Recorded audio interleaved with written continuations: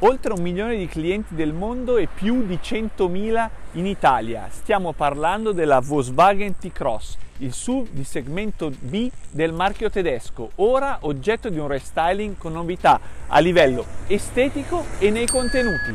Salite con noi sul SUV tedesco! Il SUV compatto tedesco ha ricevuto alcuni aggiornamenti anche dal punto di vista estetico, a partire da un frontale rivisto.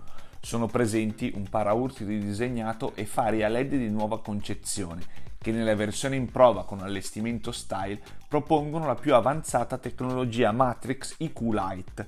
La fiancata si mostra più possente con i cerchi da 18 pollici, mentre nel posteriore sono presenti paraurti ridisegnati ed una nuova banda luminosa a LED tra i gruppi ottici, anch'essi con un disegno dedicato ad X e indicatori di direzione con funzione animata. Sono leggermente cambiate anche le dimensioni, con una lunghezza aumentata di 27 mm, portandola così a 4,14 metri. La larghezza è di 1,76 metri, l'altezza di 1,60 metri ed il passo di 2,56 metri per garantire l'abitabilità per 5 passeggeri. A questo proposito, i due laterali hanno grande spazio per gambe e testa, quello centrale è molto più sacrificato per il tunnel centrale ed il mobiletto per le prese USB-C. Importante la capienza del bagagliaio pensando al segmento di questa vettura, da 455 a 1281 litri, con una bocca ampia e senza scalini per caricare e scaricare i bagagli.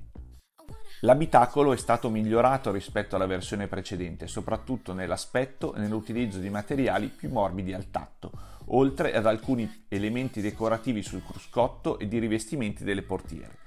Il tutto per rendere più piacevole la vista entrando nella vettura, dove troviamo dei comodi sedili in tessuto, numerosi vani portaoggetti ed il Climatronic a due zone con i comandi touch a cursore, anche se non sono presenti le bocchette per i passeggeri posteriori.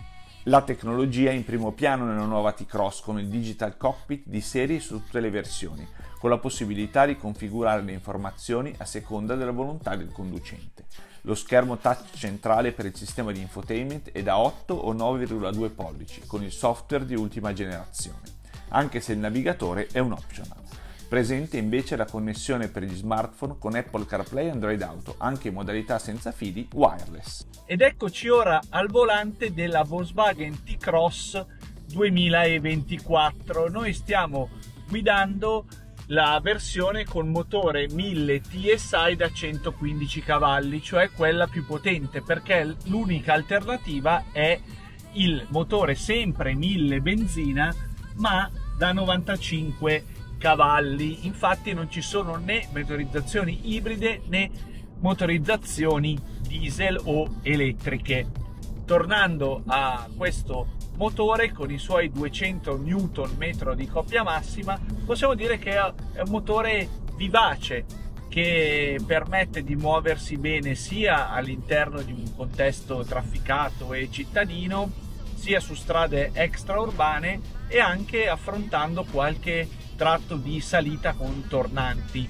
Ovviamente stiamo parlando di una vettura che non è eh, sportiva, una vettura in cui il comfort è in primo piano anche per poter fare lunghi viaggi. A questo proposito possiamo dire che il SUV compatto di casa Volkswagen ha un'ottima insonorizzazione anche quando si viaggia a velocità da limite eh, in autostrada e assorbe bene le buche e le disconnessioni del terreno grazie ad un assetto morbido appunto adatto a questo tipo di vettura. Inoltre possiamo dire che c'è una buona visibilità sia anteriore che posteriore. Ovviamente quella posteriore se ci sono tutti e tre gli occupanti posteriori è un po' più limitata, però nel caso per effettuare le manovre abbiamo anche il supporto dei sensori di parcheggio anteriori e posteriori e di una retrocamera con buona risoluzione. Il tutto accoppiato ad il cambio DSG a 7 rapporti, solo forse un pochettino più lento a marce basse e a bassi regimi, altrimenti fluido e pronto nelle cambiate.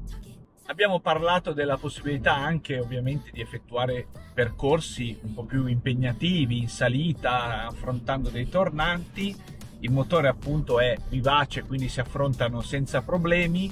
Eh, lo sterzo è morbido, ma della giusta rigidità per questa vettura. C'è una frenata sufficientemente pronta.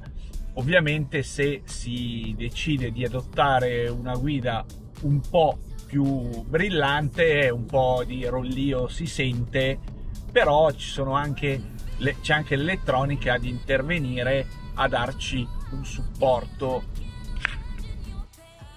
Uno dei punti di forza di questa vettura sono sicuramente gli ADAS di primo livello e non sempre presenti su vetture di questo segmento. Abbiamo il Travel Assist di serie e poi tra gli altri sistemi di assistenza alla guida abbiamo la frenata automatica d'emergenza con riconoscimento pedoni e ciclisti, il riconoscimento dei segnali stradali, il mantenimento di corsia, come dicevamo i sensori di parcheggio anteriori e posteriori, insomma c'è tutto per poter affrontare la guida con la giusta sicurezza.